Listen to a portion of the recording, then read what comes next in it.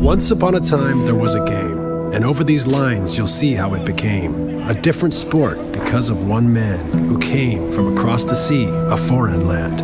Over seven feet tall, he stands, the Maverick. And once ball touched those hands, it was never the same. At first, it was hard. The team's first pick in the draft, and pressured from the start, he felt sick as they laughed. At the way he played, the way he shot for threes with fingers splayed. His dream, it seemed, would slip away, as if he'd spend the rest of his days playing another man's game instead. His dream was dying, if not yet dead. Don't ever leave the paint, they said. You're too tall to shoot, they said.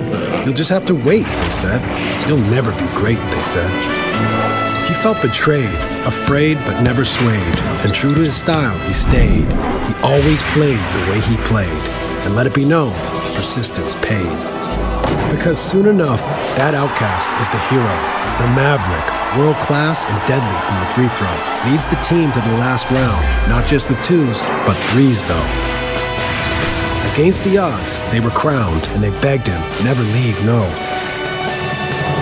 For that Lone Star town at last had their ring, and for all that were there, it meant everything. And though now he might have left, his game remains because of all the theft, of the way he plays, the way he shoots. He's changed the whole thing from the branch to the roots. From one leg fadeaways to stretch fours, his game still stays and lives in yours.